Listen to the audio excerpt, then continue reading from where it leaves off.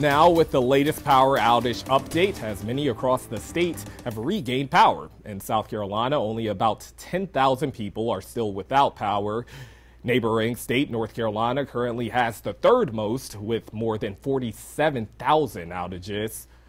And Dominion Energy is urging residents to be mindful with their energy use to protect the stability of the electric grid as record low temperatures and are leading to more usage. Dominion says ways to decrease energy use include setting thermostats to 68 degrees or lower, turning off non-essential lights, unplugging or limiting the use of appliances, and ensuring central heating vents aren't blocked.